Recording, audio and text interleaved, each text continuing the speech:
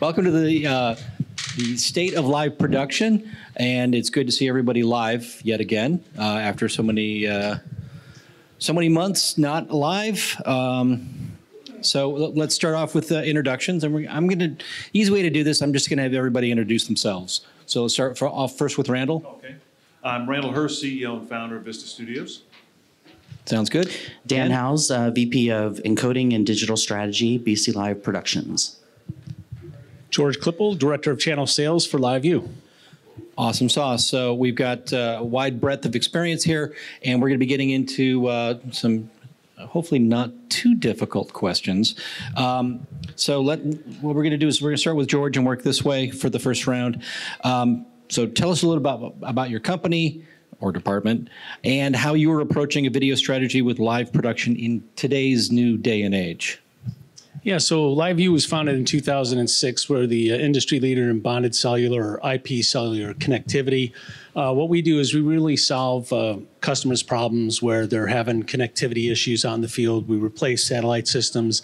Uh, we help people connect um, using bonded cellular. Um, so we're taking multiple modems in our units like T-Mobile, uh, Verizon, AT&T, Ethernet, Wi-Fi, bonding those together, making a big fat, fat pipe to the internet, and getting your video from point A to point B, whether that's to a cloud infrastructure or an on-prem infrastructure, and doing REMI productions.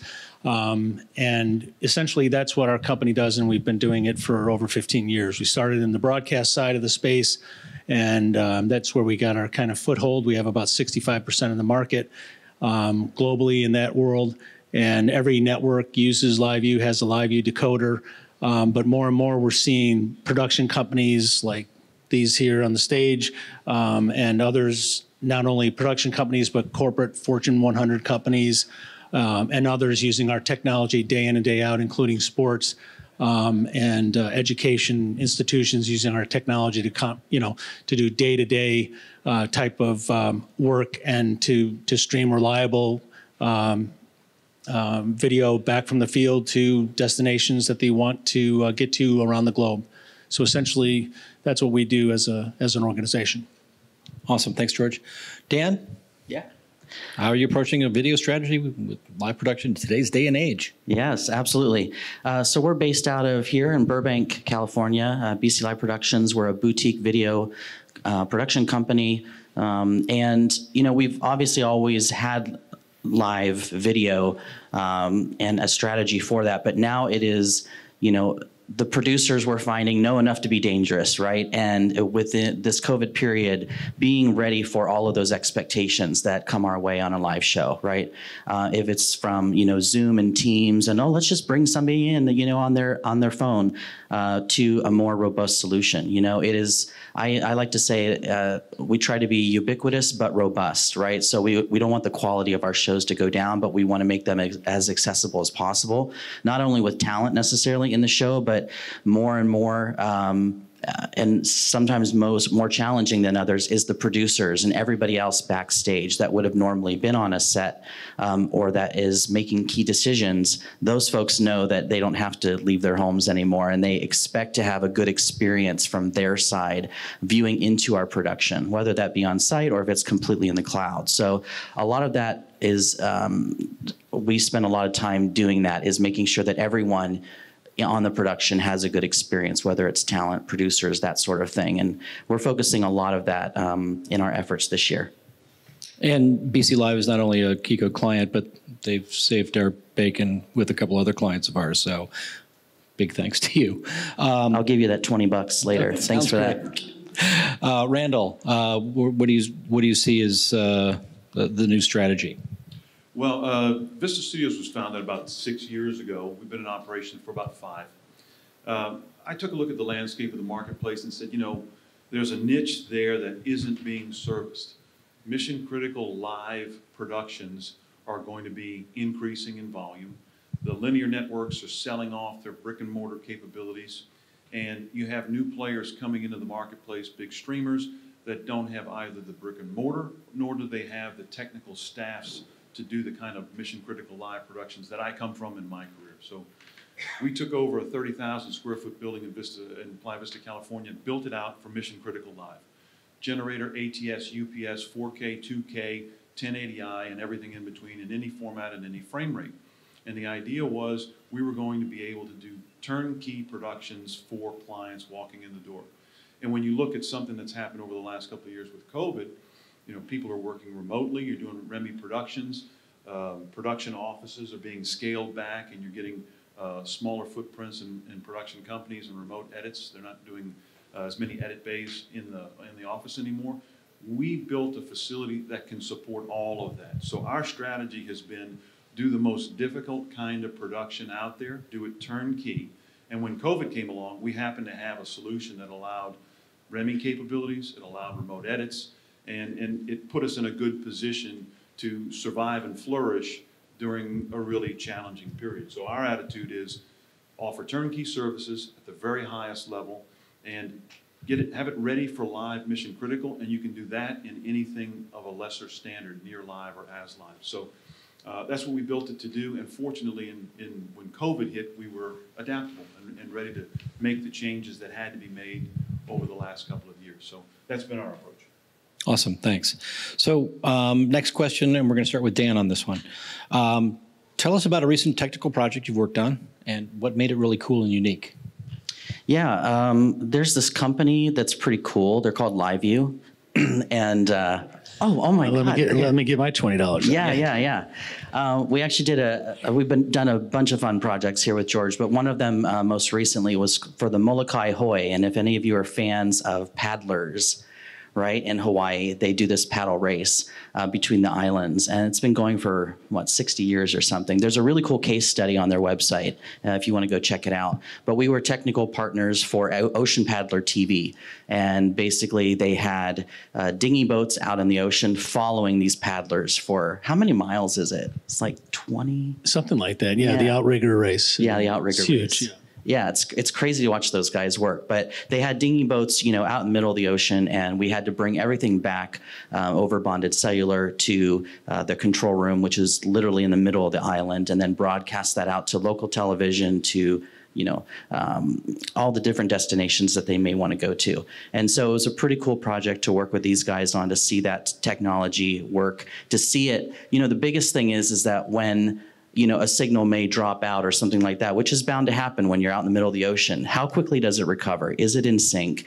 You know, does that decoder actually do its job and make everything still in sync so we can cut a perfect show? And it was awesome to work with LiveU on that uh, to make those things happen. So we had a lot of fun on that. Yeah, and just to add to that too, because I think Ra- Randall, right? I, I, Randall mentioned this too about REMI production because BC Live's been doing REMI, and we've been doing REMI for years. I've been with LiveU for six years, and you know, REMI start started off in sports. Really, that's where it got it, its niche, but you know that that race was one of the last things we did before COVID hit, and REMI skyrocketed after the COVID uh, pandemic, and rightfully so because everybody moved into their homes and started setting up insert studios and doing these remote production type of uh, events. And in this particular case, you know, we're out in the middle of the ocean. We're sending feeds back. We're using extenders. We're using at the finish line in Oahu. Uh, they had thousands of people there, right? And they're all streaming and wanting to stream. And bandwidth is finite when you're dealing with uh, any type of production with bonded cellular, right? And it just gets sucked down to eventually zero. And you know, having the ability to work with uh, quality equipment and productions where you're sending a signal back to a server and it's getting, you know, it could be miles away, it could be in the next country. It's irrelevant where it is when you're doing a REMI production. But really, from our standpoint, over the last three years, we've seen REMI just skyrocket, just blow right off the charts. Uh, and people who used to be taking fly packs and building up big fly packs and sending out trucks everywhere, they've they've realized there's monetary savings here and real you know logistical savings money money everything else right um, because you're moving to this type of workflow and and you're able to uh, save and use your existing infrastructure and facilities like Randall's to to um, um, do these types of productions really so it was a big savings not only for this one um, instance but for us at LiveU we've just seen it you know skyrocket from a production standpoint Awesome. So I mean that that takes care of both of you. One project, two, two stones is perfect. Randall, how about you? Cool, unique project. Only one? Y- You know what, you can have two. If he does want. two, I want to do two, No, we- if we got time. The reason I man. say that is, is the challenge that we've had during COVID is we've had a, a bunch of different curveballs. So, uh, just to highlight a couple of things, we did a, we did an eleven camera four K production for YouTube, Google, Tiny Food, uh, a bunch of POV cameras in four K, a bunch of kids running around and stuff. So it was a, a fun, uh, production. Um, and it kind of, uh, stresses what we do and shows, showcases 4K capabilities natively and, um, you know, a lot of high turnover and a high, high volume. So that was one of the most interesting things we did recently, was high camera count and, uh, and it was an interesting project. Which, which makes me ask, if it's tiny food, why do you need to see it in 4K? Well, we asked the question, Yeah. whatever they want. You know what? Hey, we'll, whatever you want, we'll, we'll make it happen. Um, so, uh, George, do you have, do you have one, another one, or do you want to stick with uh, the paddling? Because that, that is, that is a pretty cool project.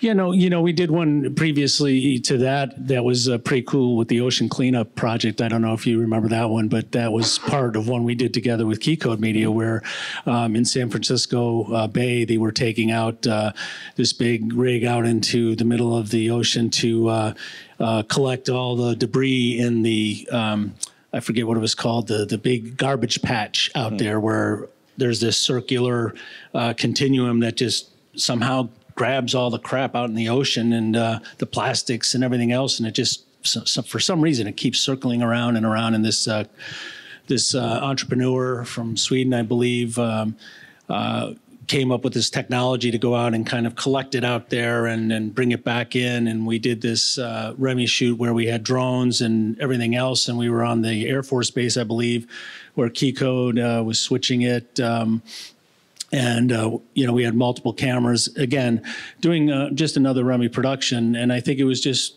again another way of uh, showcasing that technology using it with multiple cameras which was really good.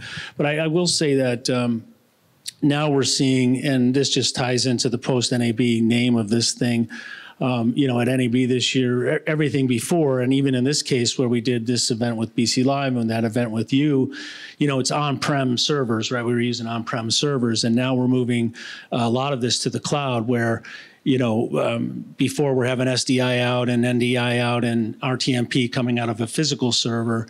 And a big move and a big push that you're seeing at NAB was a lot of people talking about cloud infrastructure. And for LiveU, um, that means for us now our cloud uh, servers that used to just do RTMP. Now we're doing MPEG TS. Now we're doing SRT. Now we're doing NDI out of the cloud.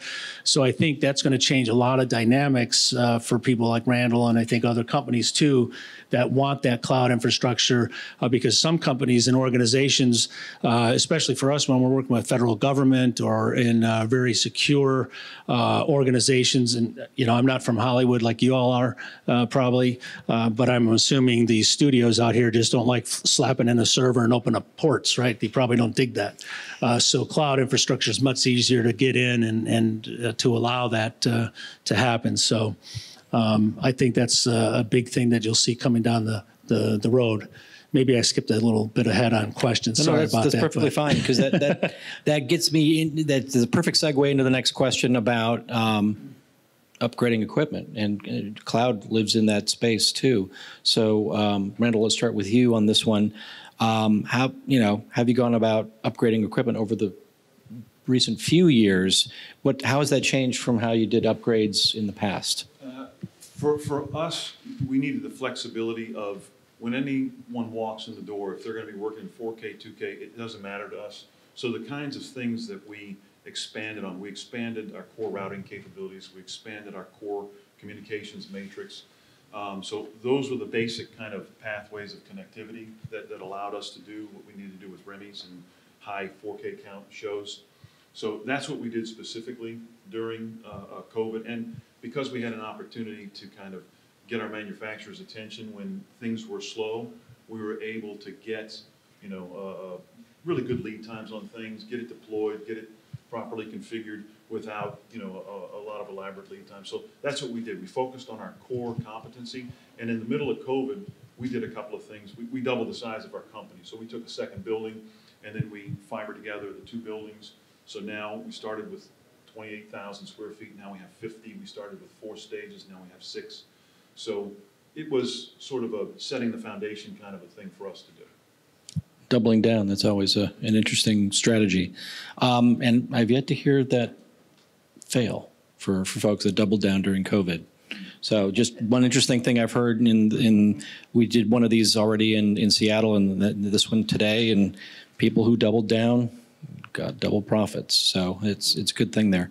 Um, Dan, uh, upgrades. Yeah, I think uh, for us, uh, um, an upgrade of mindset was interesting. You know, we've always uh, done a lot of live production on set.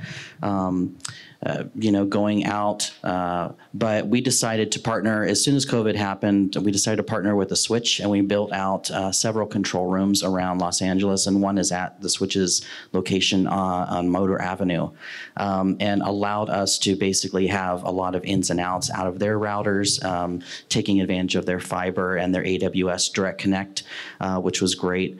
Um, and it allowed us to, I think, the upgrade mindset of accessibility uh, and platforms, right? Offering more to our clients that would come in the door and say, if you want to do multiple audio translations or captioning, that's sort of a passion of mine. I have a family member that's deaf, hard of hearing, and I've always really been into captioning and really been into audio translations and how to provide the best user experience.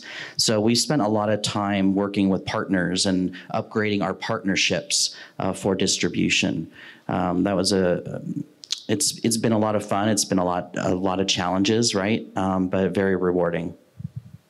Awesome. So that question really doesn't apply to you, George. So let's go with what do you see the big challenges for the industry right now? Wow. Um, I thought it did, did apply to me, but I- I'll go with the challenges of the industry. Um, really, I think it's just keeping up with technology. Um, there's so many changes, so many things that are happening. Um, you know, and and there's so many different workflows that are available out there. I think that's one of the biggest challenges to the industry. On on people coming up, even today at this at the tables here asking, you know, what do you do? How does this integrate with this? How does it work with SNS? How does it work with Avid? How does it work with Grass Valley Amp? Um, you know, there's so many people that want to ask that question. And, you know, Randall already mentioned it about his facility working with so many different things. And I think BC Live, you guys are in the same boat. People come to us and it's not just they want to know about LiveU, they want to know about how LiveU integrates with all these other pieces of tech. And I think that's a big, uh, big challenge. And for us, you know, I started with LiveU six years ago, and it, it, used to be just an encoder, decoder solution, and now we have all of these other products and Cloud Connect and all of these other things to make it easier for a customer who is using Grass Valley Amp or VizRT Vector or whatever that we can integrate with those pieces and the, these tools because um, it is about workflow. It is about other tools that you're using. Um, it's not just about okay, we're only LiveU and we can only work in our little sandbox, right? We showed uh, ingest at uh, NAB, for example, and uh, you know, LiveU ingest integrates seamlessly with Avid iNews and works in that world now. So for those broadcasters that use iNews, we have a seamless solution that works with that today. And then we'll eventually have ENPS integration. So, I mean, th- that's what the story people want to hear, but those are those problems that I think people are trying to solve when they talk to different manufacturers. At least that's what, that's what we're hearing. Integrated solutions. Right. That- Yeah, keep, keeping people ahead of technology. I, I've heard that logo somewhere before. Um, so, uh, Dan, let's go with you on this one. Um, what are the main production challenges you're facing today? What have you been doing to overcome them? And what would be a single piece of technology that would make your work life simpler?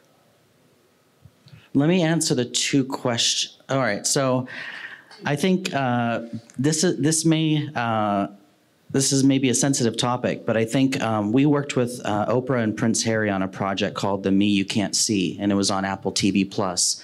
Uh, we were with them for about six months, um, doing a lot of a lot right in that height of COVID, uh, completely remote controlled. Right, Sony Venice cameras that could not be operated by a person had to be all remote controlled you know 70 to 80 producers and executives and all this kind of stuff needing to have secure access in and out of a production um, and one of the things that they talked about in that series over and over was mental health and i think that you know when covid happened in march 2020 probably most of us in this room were like, let's go, let's go. This is, you know, we're going to help and let's let's revamp and retool and what are we going to do? And a lot of us have been sort of on this high, if you will.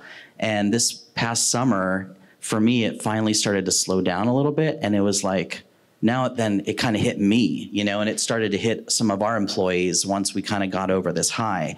And so we've really been looking back on some of those lessons learned actually with that show, interestingly enough, and saying, how do we apply this to our company? How do we make sure that we're giving people time off? How do we address turnover? All those kind of things. Um, and I think it's I think it's super important.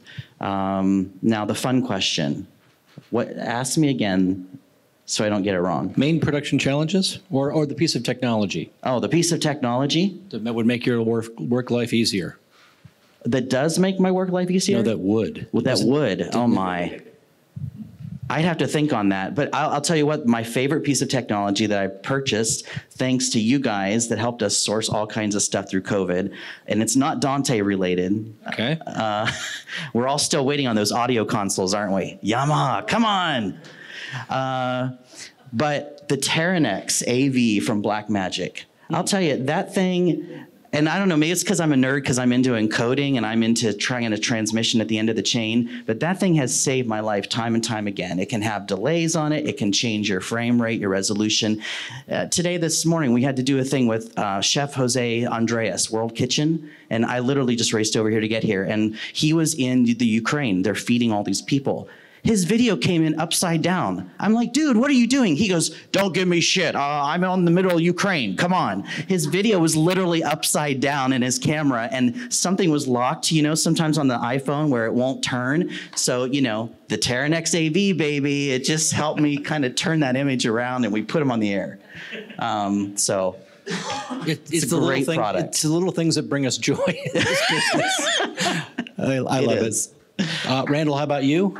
Uh, What's the cha- what's the first part of the challenge? The first part of the question is, uh, what's my password? Because I fell asleep. The the challenge of the moment? The, the challenge of the moment. Um, pro- main production challenges you're facing today. What have you been doing to overcome them? And what would be a piece of technology that would make your work life simpler? Uh, The challenges of today, um, what's happened during COVID is you're, you're hitting a lot of singles, you're getting a lot of ad hoc, one-off kinds of things. For us, that's why the infrastructure of our facility has helped us a lot. It's adaptable and it's already been pre-configured. So what we're finding right now is you're, you're getting a lot of little one-offs. And before COVID, we would have people coming in saying, hey, we want to block out a stage for two years. And now what we're getting is, hey, we want to block off a stage for two weeks. So um, the biggest challenge of the moment is the transactional nature of what we're dealing with on a recurring basis, which are a lot of little lightweight ones. So you're getting a lot more turnover than you saw before COVID. Uh, It hasn't settled back out to long-term commitments, long-term engagements. Um, And we expect that that's, you know, going to be coming. The, the- and what would make my life easier, it isn't technology, it's just more human help. I mean, we, we have to track so many moving parts. Uh, If you come to shoot, we've got add this, subtract that, bring this in, change that. So it's just, a- when you're doing a lot of these transactional things, because of the way the environment is right now, you need more high-end quality labor to, to make sure that it, you know, everything's getting done. So right now, it's, I don't need a- any technology, I just need really uh, uh, competent uh, engineering firemen that are committed. You know, that's what we need more of. So if you got your resume. Yeah, yeah. Uh, and that the thing is, labor supply chain is a real real problem.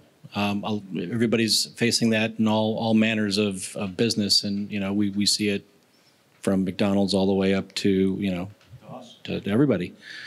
George, what do you think? Um, what are the main production challenges you're seeing today, and what would be a cool piece of technology that you'd love to see out there that would make your work life easier? Um, well, the main production challenges, I guess, you know, I, I'd echo everything these guys would say on the production side, especially what you were saying about mental health and people getting back together because, you know, everybody was hit hard, right? Um, and again, I talked a little bit about the workflow piece and that tie-in. So, and with you know, from LiveU's standpoint, I started, you know, six years ago and we were just the encoders and decoders and we've been continuing to develop production tools and now we have Tally and, you know, PTZ camera control, remote uh, audio connect, Dante uh, integration.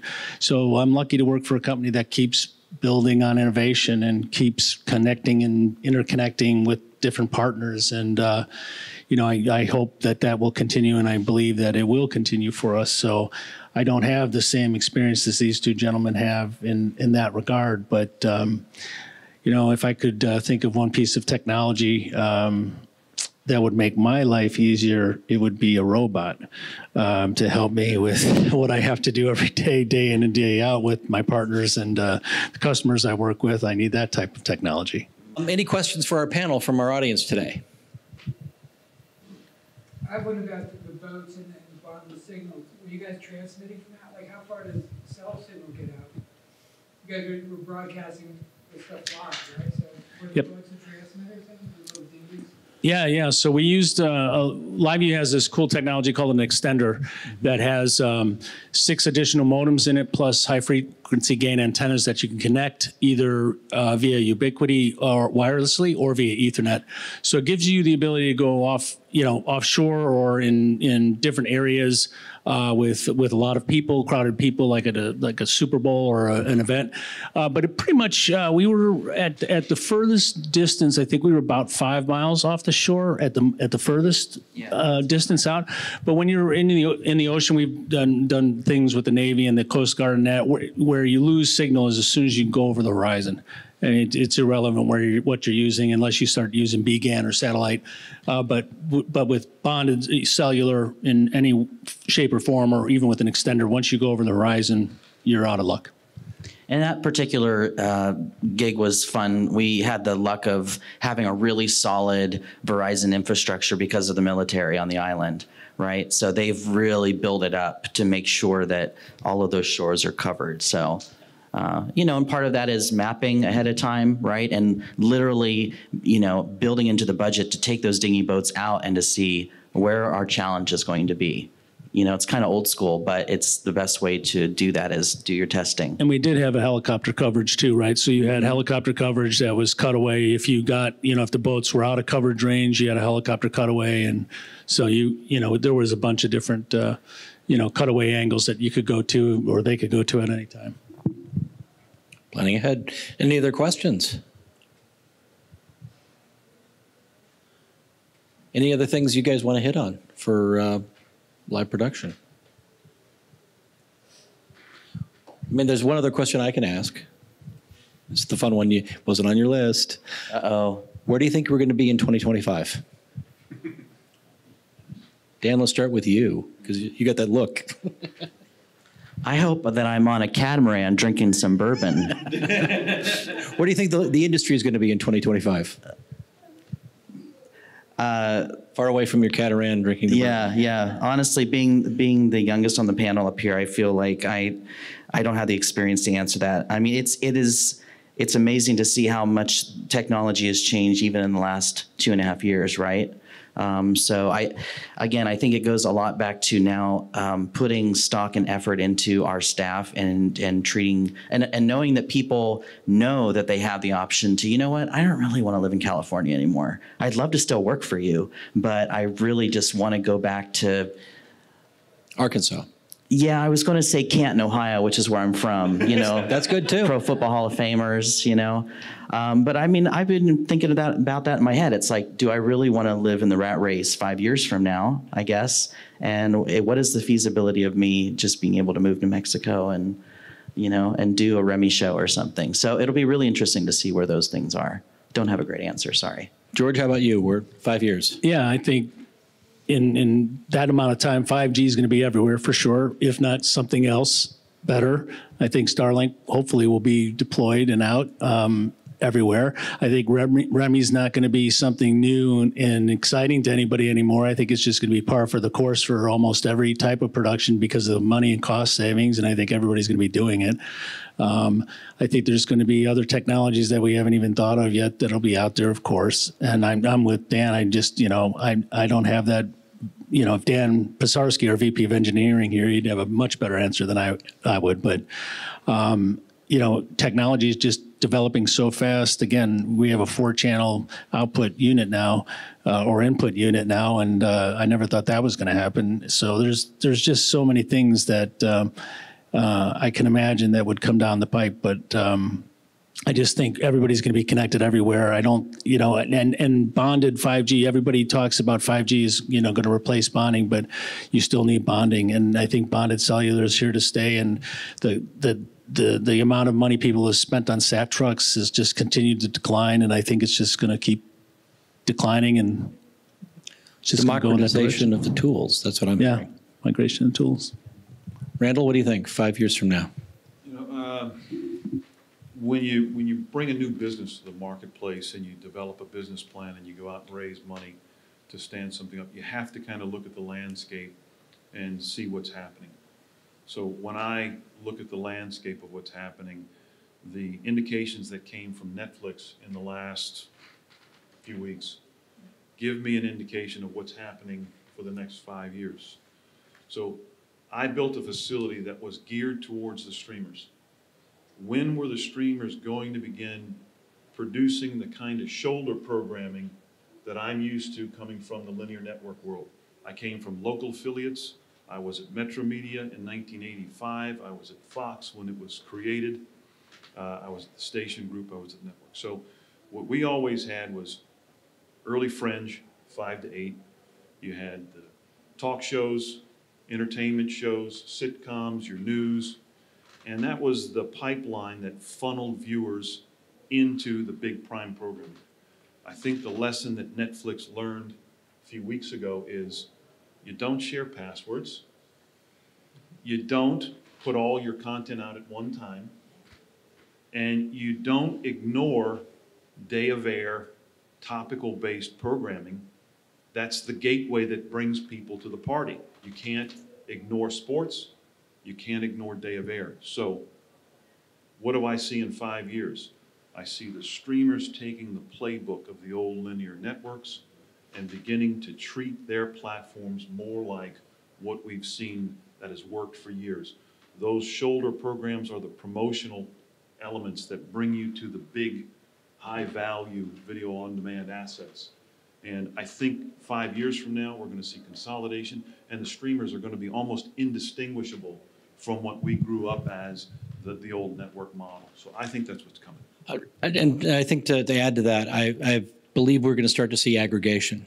So just like we've, we paid cable TV providers for years to do all of this aggregation of content and channels, I think we'll see the same thing happening with the streaming services. I will have, you know, stream, stream platform number one, and it will have all these other channels inside of it. So it'll have, The, the key will be, the, the- the demise of Netflix is, you know, radically overstated because 225, 230 million viewers.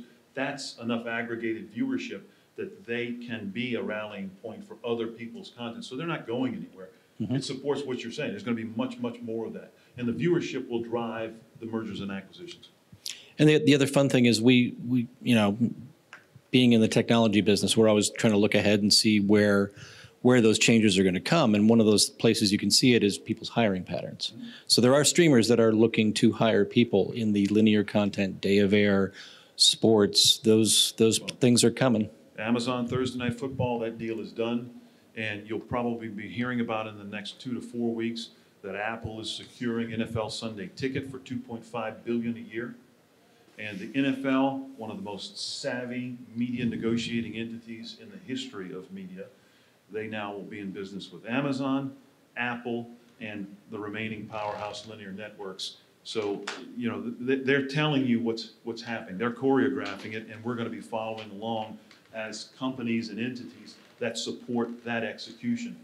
So, So you've had a look around the corner to see where the traffic is. So now, now you're going to know. well, where's Apple going to do NFL Sunday Ticket?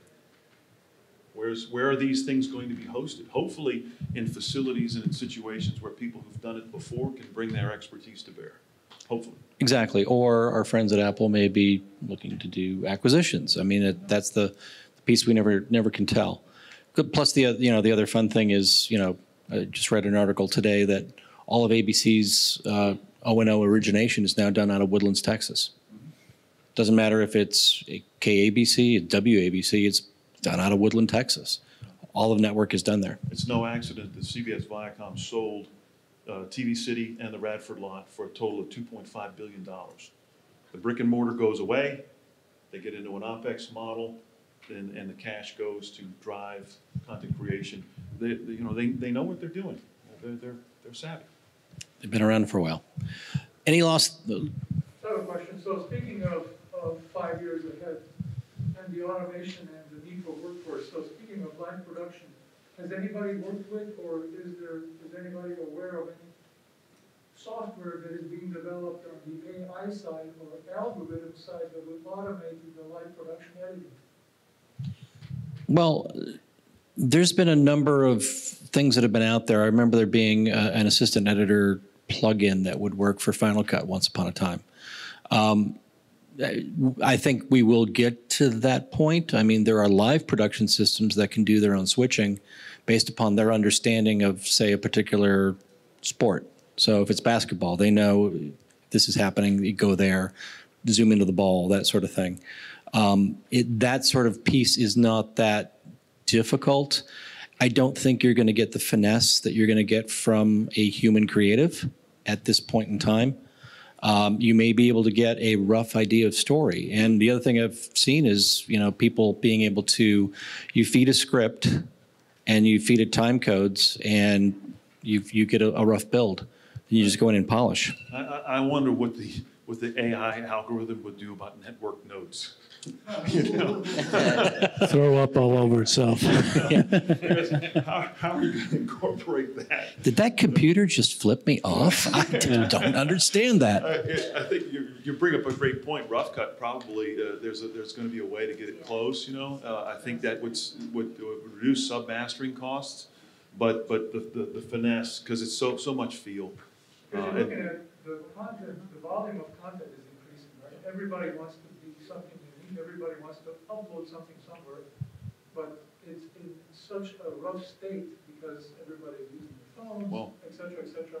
So if there's a AI software or algorithm that would stream that for users, that would be some piece of technology that would be very helpful. that gets into asset management and if it's in the cloud there are a lot of things that can be done that this used to be uh, when i was in, in on the production side it used to be something i used to talk about a lot i can do anything you want provided you're willing to pay for it Yeah, no, that's not going to be free and I think I think too, and the the lead is going to come from sports, in, in my opinion, uh, because there's already AI solutions that can cut be, just from a live feed that can cut between plays and just do basic cuts only uh, between plays, and and that's already out there now. recap engines I Yeah. don't, I don't think we can overstate what has happened during the pandemic, which was for years, all the production houses brought in post into their own officing. It was another revenue opportunity for them.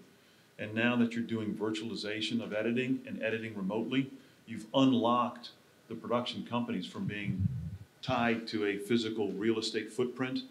And that means editors can be working on the other side of the world, the other side of the country, and the content can still be safe and secure behind a firewall. So I think that's going to alleviate a lot of the bottleneck that, that may have existed for this accelerated content creation. And that's one of the things that we brought a new product to market during COVID to support specifically that. And, and, and we're seeing that as an, an important development that happened just in the last two years. Thank you. tony I have a question. okay We're gonna ask Dan Houze a question. Oh boy. oh boy Dan, what's Oprah really like? Come on, you, we brought you here. You gotta tell us. The record light is still red. I'm not an idiot. Um, and now he leaves the room. yeah That's Tony for you. throws a throws a bomb and then takes off we, we're, we're, we're understanding of that That was a wine fueled comment. It was, yes. Little Chardonnay, well, that'll happen. Um, any last thoughts before we call it a day? What's, uh, what do you see as far as 3D or VR for the future of life? For, from my, I'll say from my Avid days, this has been tried and stopped and tried and stopped and tried and stopped. so I uh, I don't know where it's going to go, but there was a lot of stuff at NAB this year I saw, um, so it's still trying. So I'll ask these other professionals who might be deeply involved in it, but. We uh, we did uh, we provided engineering support for the 360 activation for the Super Bowl halftime show this year, uh, and so they had what nine Insta stream cameras out there, and you know I just as a viewer at home I just don't want to work that hard, you know I really don't I don't. I'm I don't know I feel like my I, I feel like my grandpa or something when I say I'm I, it's just I don't get it you know and and that's kind of where my mindset is still uh, on some of those things but uh, i'm sure randall can give a very more eloquent answer I can't comment on 3D uh, personally, but we've been doing VR for the last year in our building number two. 40-foot monitor wall, uh, four Venice cameras in 6K, uh, home interactive workouts for uh, a marquee client of ours, and uh, Disguise software, Unreal Engine, driving all of it. Uh, And we've had a great experience with it over the last uh, year.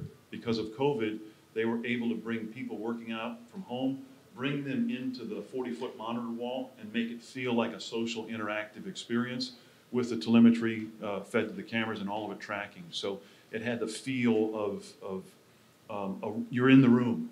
Uh, a- And it was a high-value uh, uh, production, and um, we've, we've learned a lot, and I think it has a lot of, of future. It, it's an ideal deployment of that, actually.